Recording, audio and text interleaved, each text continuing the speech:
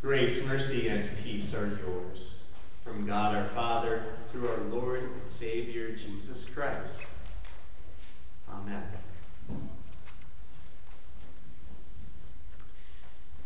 My wife and I were driving down 169 uh, a couple weeks ago, and um, as we were driving down the highway, um, above one of the overpasses, uh, there was a woman standing up there alone, right in the middle of the bridge.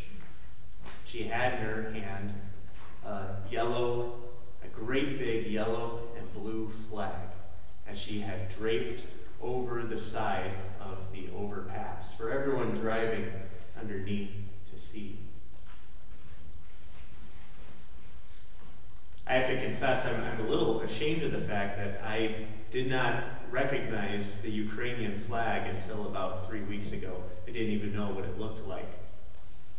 And there are so many people that have this dual citizenship who are affected by the war in Ukraine and have family or friends or people overseas that, that are, are really suffering. And it's amazing that, that these, these people walked among us unknown. Unknown, that is, until their homeland came under and it's in that moment when their homeland comes under siege that they let their true colors fly. They're not afraid of showing where they belong and, and what their real citizenship is. For you and I, we are citizens of two kingdoms at the same time. We live in this world. We are part of this world, and yet at the same time, you and I have a citizenship in heaven. A kingdom that is under siege. Today, the Holy Spirit comes to us and asks us that challenging question Who are you? Where does your true citizenship lie? Will you live as a child of the resurrection? Who are you? Today we answer this question with these words from Philippians chapter 3, verses 17 through 4, verse 1. I invite you to stand as we read as follows in Jesus' name.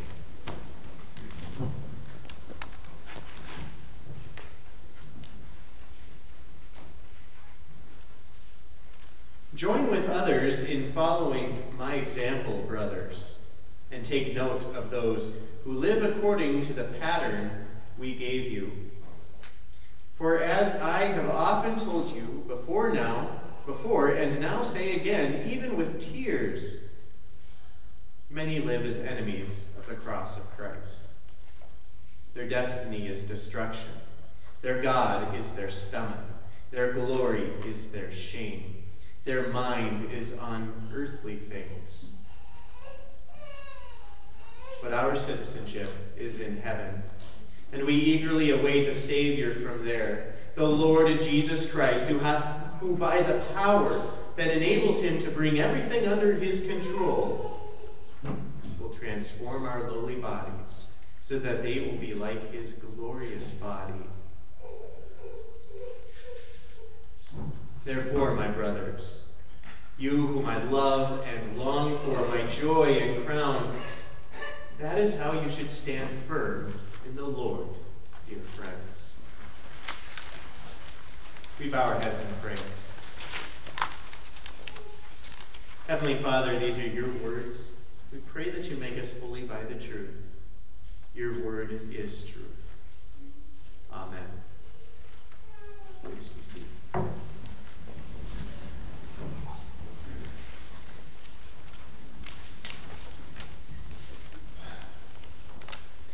Food is an important way of expressing our nationality. For instance, I'm German, so that means I love sauerkraut and eating weird things like beef tongue and, and stuff like that. But I married a, a wonderful lady who's both Swedish and Norwegian. And what that meant is when we got married, I had to sit down around the family table, and every single one of her uncles were watching me as I took my first bite of lutefisk. If I wanted to belong, I had to eat the family food. I did eat it, by the way. It was good. Food is an important way of expressing our nationality. It's true for us today. It was true in Paul's day back in this time. Paul is writing these words to uh, a Roman colony called Philippi. And this Roman city was full of retired veterans uh, who were retired from the Roman military.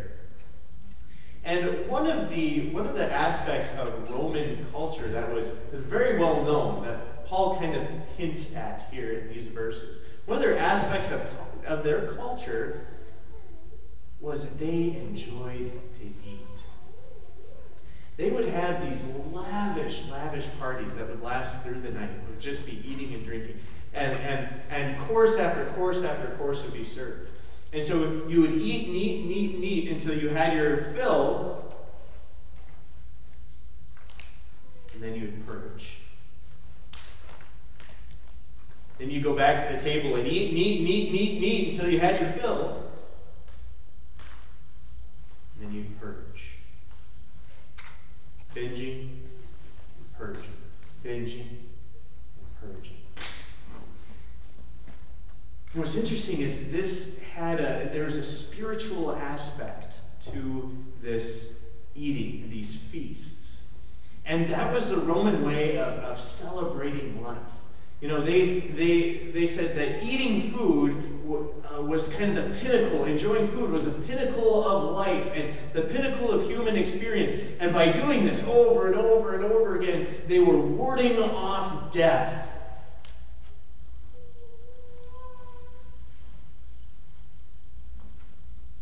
So that's what Paul is mentioning when he says, Their God is their stomach.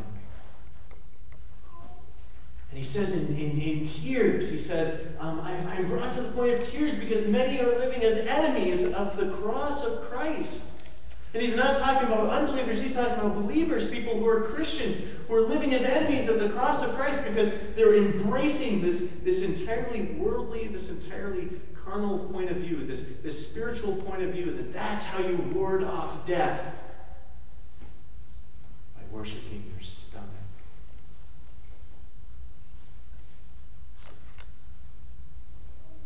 How do we embrace life today? What's the pinnacle of, of living for us? What are, what are the things that we, we binge and, and purge on? Maybe it is the salty, sweet something. You know, when life is out of control, sometimes just reaching for that snack is one way that we feel like we can take control back, or that, that feeling of a full stomach can make us feel full at a time in our life when, when I'm empty and I'm searching and I'm hungry for something.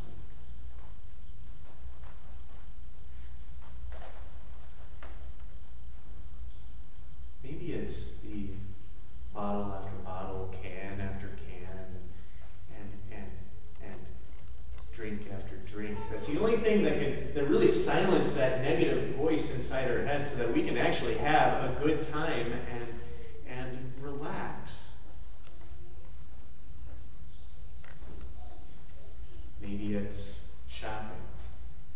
You know, finding that control in my life by just one more outfit, one more pair of shoes, then I'll be happy, then I'll be satisfied. Is it the content online that we'd be ashamed of if other people saw what we were doing? Or maybe it's that latest season of Netflix that just came out and I binge and binge and binge, well, binge watching because I just can't get enough. Or that never ending scrolling on social media. Just a little bit more.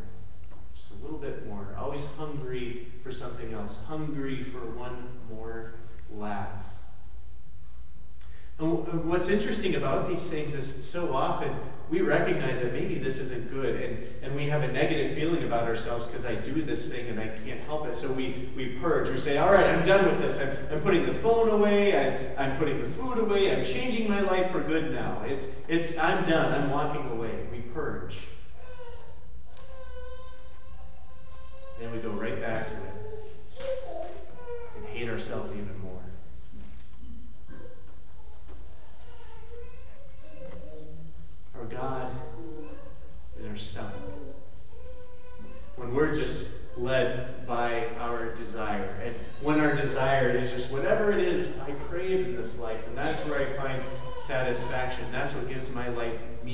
That's how I ward off death. And as Christians today, we also have to be cautious of am, am I living as an enemy of the cross of Christ? Is, is my life confessing that, or is, is my life giving the impression that I'm just living for this world and living for these things right now. Meanwhile, the, the one thing, the one relationship that really grants eternal peace, that really truly wards off death, I ignore. I treat like it's not very valuable.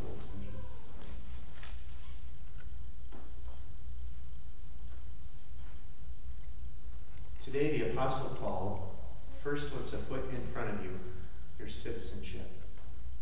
Who am I? You are a of heaven, eagerly awaiting the return of your Savior Jesus. And he paints a picture before our eyes, and the Bible paints a picture of heaven before our eyes. In Revelation 7, God promises, Never again will they hunger, never again will they thirst. Or in Revelation 21, God says, Now the dwelling of God is with men, and he will live with them. They will be his people. God himself will be with them and be their God. He will wipe every tear from their eyes. There will be no more death, or mourning, or crying, or pain, for the old order of things has passed away as wonderful and as beautiful and fulfilling as that, that picture of heaven, that picture of your true homeland is, heaven isn't enough. Heaven isn't enough. It wasn't enough for God. The God who lives in heaven and lives in that paradise says, Heaven is empty and void and meaningless without you in it that God in heaven, the one thing he craved more than anything else, the one thing he hungered for more than anything else, was an eternal relationship with you. He hungered for that so desperately. Jesus came to this world and lived as a foreigner and alien here. Jesus suffered and died on the cross Jesus endured the, the pains of hunger and faced the temptations we face every day and overcame them. And that's why Jesus chooses the cross as his banner because it's a symbol of his victory and the symbol of your victory. And your Lord Jesus Christ promises you that he is the bread of life. Whoever comes to me will never go hungry. And he satisfies that deep craving, that deep hunger in our for God. And that relationship with, with just a simple piece of bread and a simple little sip of wine. God comes to you. God promises you your sins are forgiven. God gives you the strength to face another day. Paul says, as often as we eat this bread and drink this cup, we proclaim the Lord's death until he comes. We are looking forward last day when Jesus does return to come to bring us home to heaven. Paul mentioned something else that's going to happen to you on that day. And our Lord Jesus Christ, by the power that enables him to subdue all things, will transform our lowly bodies to be like his glorious heavenly body. And Paul puts before our eyes this, moment in time when, when on the last day after the dead are raised, God will in a blink of an eye, transform our body so that no longer will we have to deal with a sinful mind or sinful flesh. We'll, we'll be forever uh, beautiful, forever changed with a heavenly, glorious body. That's the image of future you he puts in front of you today. Whenever we ask that question, who, who who am I? We like to focus on what, what are the patterns, what are the, the molds, what are the things that have left a deep impression on me and my life. And so often, when it comes to things that are negative about ourselves that we don't like, we have a way of pushing that off and, and trying to cast the blame on something or someone else. For instance, I'm this way because mom and dad raised me this way. I was born this way. God made me this way. It's my environment that made me this way. It's the trauma, it's the past. We have a way of pushing things away from us. And what this does is it gives us and it can give us a sense that I am just a victim. I'm a helpless victim being shaped and, molded by everything else happening around me. I, I can't control myself. That's one of the devil's lies. He wants us to feel the helpless victim. He wants us to feel like we're, we're powerless over these things pressing against us in our life. And that's not true. He wants us to give up the battle so that He has the freedom to shape us and mold us in His image. And as, as a child of God, as a citizen of heaven, I have to categorically reject that. I am not just a victim. Christ gives you power, gives you strength to overcome. One of the things that I've, I've uh, appreciated and, and someone else had told to me is that when you're in these moments, like the, the fork in the road, you're in these moments where you're dealing with temptation, or even when you're dealing, wrestling with just human impulses, a way of kind of stepping outside of the situation is, is just imagine like a, an older version of you, you know, someone that's maybe 10 years older, 20 years older, 30 years older, coming to you and talking to you today about the impact of that little decision that you make. Can you imagine what that would look like? You know, an older version of you saying, well, how will this affect your marriage? How will this change your relationship with your kids? An older version of, of, of, you coming back in time to say, yeah, you know, maybe, maybe it's a tough battle today to get the kids to church, to bring the kids to Sunday school. But think about down the road the impact of those little battles can have on, on your child down the road. And just think about how those battles today to bring your kids here to God's house will have enormous payoff in the future, even in eternity. The older version of you saying, It is worth the struggle. Or imagine an older version of you coming, coming there and, and saying, Yeah, you know, I, I realize that this temptation in front of me today just seems like a little compromise. That's the way the devil always sells it. It's just a little compromise, it's nothing big. But that older version of you saying, Look at the big picture. This is a, this is a battle for your heart.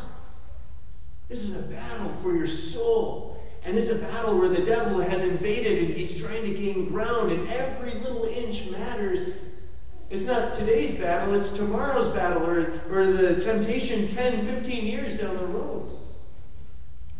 The struggle is worth it. Stand your ground. Or today, the Apostle Paul puts the you that has victory. Yeah, you might tell yourself, oh, yeah, 10 years down the road, I might be in heaven. Well, this is the you that is eternally glorified, the you who has been given a, a glorified body a, a, body that is freed from trauma, freed from the chains of the past, freed from sin, freed from a sinful mind and sinful body, eternally beautiful, eternally glorious, coming to you saying, It is worth it. Stand firm. Stand your ground.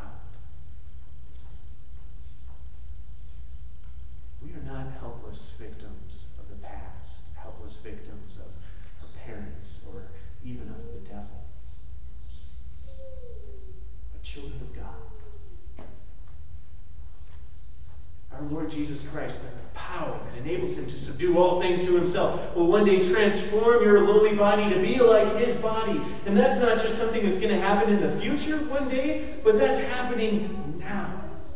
That's happening every day as, as you confess your sins and go to Christ and return to your baptism. Paul tells you you are buried with Christ through baptism into death. That Jesus, who, who subjected himself to the mold or the, the, the, the prison of, of death and broke free glorious, gives you the power day by day to rise with him and to walk with him. And even though we'll never be perfect in this life, we'll always have to wrestle with sin as long as we breathe. But that's not an excuse. It's an encouragement to look forward. To look forward every day when we wake up to wrap ourselves in the flag of Jesus' righteousness. Every day ask myself, who am I? Am a citizen of heaven, a child of the resurrection. Amen. Now may the peace of God, which passes all understanding, guard and keep your hearts and minds through faith in Christ Jesus.